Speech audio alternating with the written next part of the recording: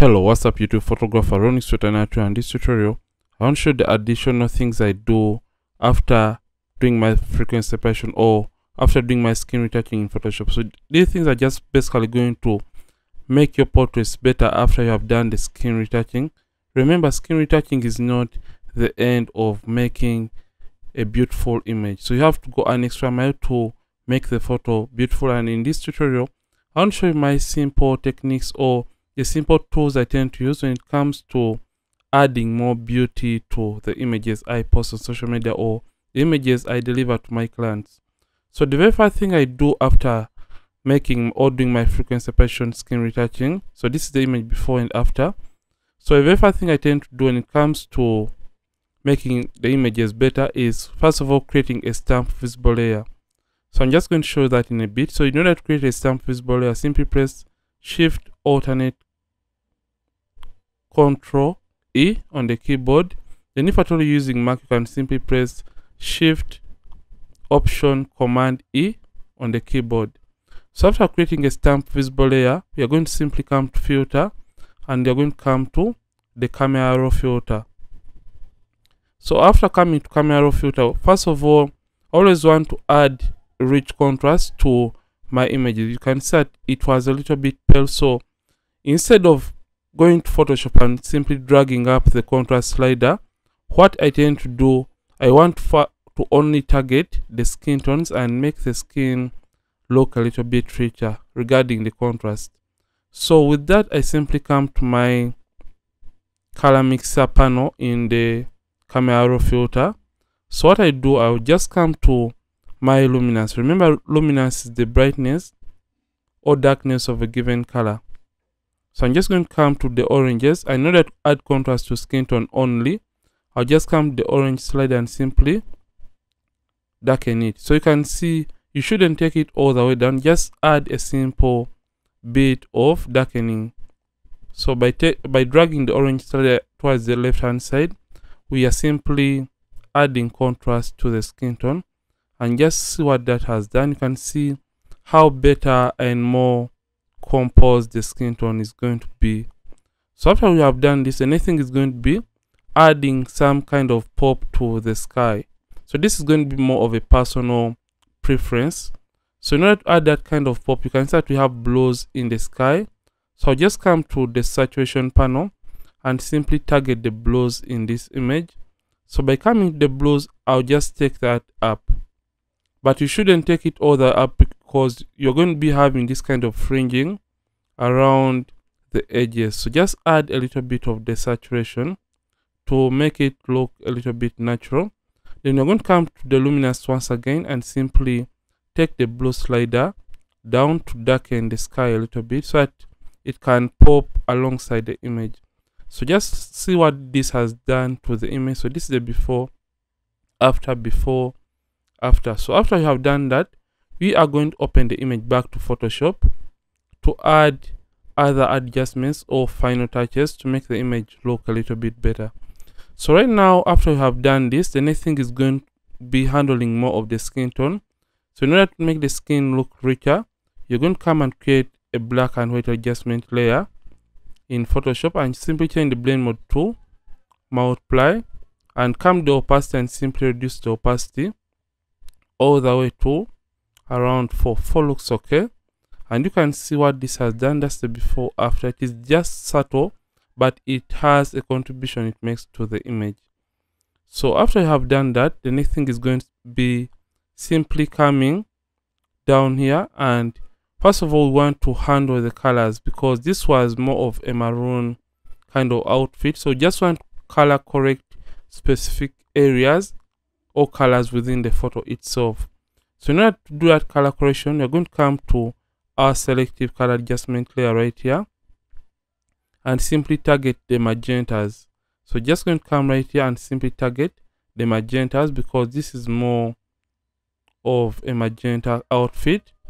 And by simply coming the, to the black slider, you can darken or brighten this outfit. You can see by taking up the black slider, we're adding more blacks into the magentas which is going to be making the outfit darker so depending on the outfit that you're working with in your image you can simply play around with the slider to darken or brighten it depending on what you are seeing when you are shooting the image. So if at all the model was putting on a white outfit and maybe that outfit was having that kind of yellow tint on it, you come to the white outfit. So you come to the color of the outfit which is the white and you can simply come to the color cast that you're having in that outfit. So if I told you having a yellow color cast, you can simply remove the yellows from that color by simply dragging coming the yellow slider under the whites and simply dragging it out and that is going to make the outfit a little bit more on the white side by eliminating the yellows so that is how you can color correct given areas in the image so i'll just come to the blacks next under selective color so you can easily enhance the blacks or even the hair itself so if I thought the hair was having a little bit of that kind of bluish kind of feel to it, by taking up the yellow slider, remember opposite of blue is yellow. So by taking up the yellow slider, we're going to be introducing, you can see you can either increase the blues or you can eliminate the blues by taking up the yellow slider to introduce more yellows in that area that may be having yellows within the blacks of the image. So after you have done this, you can see the before and after for just the selective color adjustment layer. So after you have done this, the next thing is going to be simply doing a little bit of eye whitening to this image. So we're going to come and do some eye whitening. So in order to do the eye whitening, you're going to come the adjustment layer and simply come to hue and saturation. And under this, simply make sure you are in master and you can come to the saturation and simply desaturate the overall image. After around negative 67 it is okay like that. So you can set the image is going to be desaturated to some extent but the eyes are going to be looking a little bit naturally white. But this is affecting the overall image. So what we want to do we're just going to close this and select the white layer mask and simply press ctrl i on the keyboard to invert the effect. So if at all using mac you can simply press command i to invert the effect and simply come under the brushes get the normal brush tool and make sure you set it right. The hardness is 0 and soft round brush is selected. The mode is normal opacity and the flat 100% smoothing at 0 so you have to make sure you have black and white on these two color swatches or you can switch between those or if at all you have any other color you can simply left click on the tiny boxes to reset it to black and white then you can switch between between black and red by using X on the keyboard or you can simply use this arrow. Remember in Photoshop, white is going to reveal and black is going to hide. That is why the desaturated layer has been hidden behind the black mask. So in order to reveal it, we simply have to come and paint using a white brush. So we have gotten our brush tool. So in order to do the whitening of the eyes and teeth, we are simply going to come to this and reduce on the size of the brush by using the bracket keys on the keyboard and simply left click and hold down and just paint over the eyes to add this kind of natural eye whitening effect. So you shouldn't paint on this corner because that is going to make the eye look unnatural. So just paint on the teeth and you have to be careful not paint over the gum so if i told you make a mistake for example you can simply press x on the keyboard to get black on top and simply eliminate the extras if at all you have over painted in a given area. So if at all you're comfortable with this, you can stop right here or you can simply come to the opacity and simply reduce on the opacity if at all you have over whitened the eyes and teeth. So the next thing that we are going to do for this case is simply adding some glow if at all you don't have the glow. But for my image, I had the glow. So in order to add glow to your image, you can simply come to the adjustments and simply come to the curves adjustment layer. Then simply come to the brightest point right here and drag it up until when the image is getting brighter and close this. So after doing that, simply double click on this layer to open up the layer style dialog box right here. And you can eliminate the brightening from the shadow areas by simply left clicking and dragging these away from the shadow areas. So we are on underlying layer. Make sure I blend if is set to gray. So by dragging this underlying layer slider it can only affect the brightest areas or the highlights of the image. And you can refine this so when you see it is affecting only the highlights you can refine it by holding down the option key on the keyboard or the alternate key on the keyboard. Then you can split this to refine that and you can see that it introduces a natural kind of shine to the image and you can press ok. But this is also affecting the sky of the image. So you only want it on the skin. So press the white select the white layer mask and press ctrl i. Then for mac it, it is command i to invert the effect and get the brush tool. Make sure it is white white as a foreground color and you can only paint on the areas that you want to have that kind of glow. So you can start we are introducing a glow to the image or to the brightest areas of the image. So you can see this is going to make the image even look better.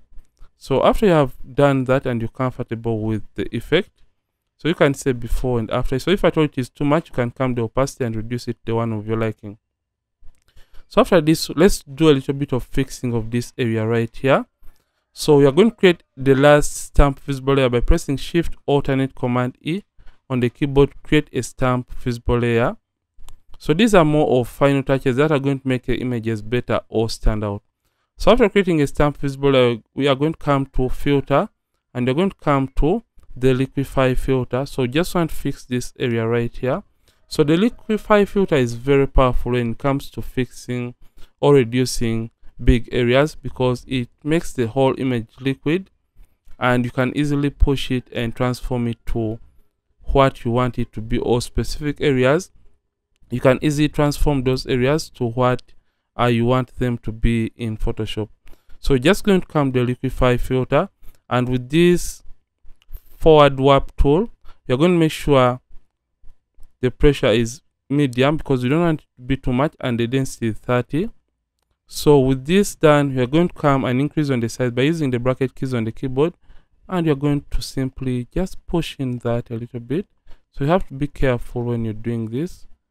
You don't want to go overboard with this. So just fix that a little bit by pushing. So i'm basically left clicking and holding down and dragging mm. in to push it in that direction so that it can look a little bit better.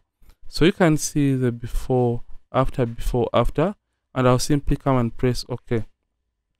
So basically this is what i tend to do to spice up or make the images better in photoshop after doing skin retouching so let me first of all group all this and i show you what we have been able to achieve by just these simple steps in photoshop. So this is the image before after before after. Just see how better and how more vibrant it has gotten to be after doing these final steps. So this is what i do. And if i told you add these to your images i promise that they're going to be better and they're going to also stand out. So this is it for this video. And if at all you, you have learned a thing or two from this video don't forget to like this video and don't forget to subscribe this channel. If at all you have been watching and you're not subscribed yet to this channel Ronnix from Ronnix Photography. Thank you for watching. See you in more amazing tutorials. And don't forget keep practicing and also keep creating